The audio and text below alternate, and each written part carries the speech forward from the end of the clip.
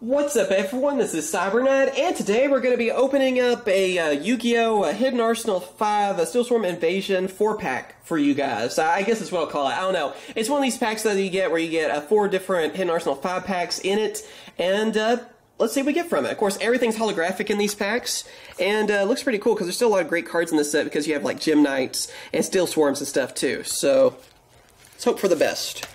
That'd be fun to get one of these though to open up and just see what we can get. I kind of miss lot of these Hidden Arsenal sets anyway. Is there glue? Yes, there's glue. Ugh. They always got to go with the glue.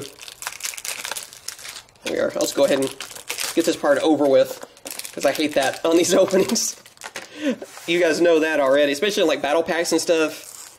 Yeah, they really like to super glue those. So let's see what we get from our packs. Yep, it starts off with secret. I wish they didn't do that because it kind of ruins the suspense, but well, I can already see at least though that we have a Gem Knight Ruby, so that's awesome. Secret rare, one of my favorites. Another Gem Knight for us. A couple Steel Swarms as well. Gatekeeper, Moth, and Caller. Not bad. Alright, next pack. And we have a Steel Swarm. Steel Swarm uh, Girastag. Looks pretty cool of the Vylons, a Vylon Cube, and garnet. There we go. That's probably what the best thing you get from this too right now is uh, Gem Knight garnet. So that's amazing. I'm actually gonna put that to the top. Uh, Steel Swarm Cell and uh, Laval Miller. Or actually, we'll just kind of do like this. How about that? So you guys can still see the secret rares.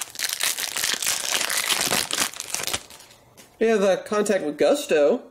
That's awesome. I like different Gusto monsters anyway, so that's cool. Blessings for Gusto. Level 4 Sprites, uh, Gishki Ariel, and Soaring Eagle above the Searing Land.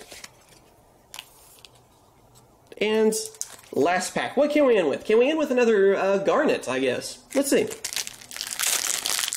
Guess that's what I should be asking for. Well, we got a, a Synchro, Vylon Sigma. That's pretty cool. I always wondered if these cards will ever come back. The Vylons do have some potential.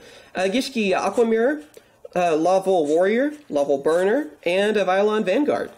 So yep, there we go. That's the opening. I hope you guys have enjoyed. Kind of a quick opening, I know, but I thought it'd be fun to open up one of these. And of course, getting a chance at getting a couple of extra Gem Knight Garnets is always a good thing. So hope you guys have enjoyed this video. As always, thank you guys for watching. Be sure to hit that like button if you did enjoy it. Of course, subscribe for more Yu-Gi-Oh openings. We open up anything new that comes out for Yu-Gi-Oh on this channel. And of course, do some older openings like today. So be sure to subscribe to stay updated with everything Yu-Gi-Oh. Also do like news videos, deck profiles, and other things too. And of course, I will catch you guys later. See ya.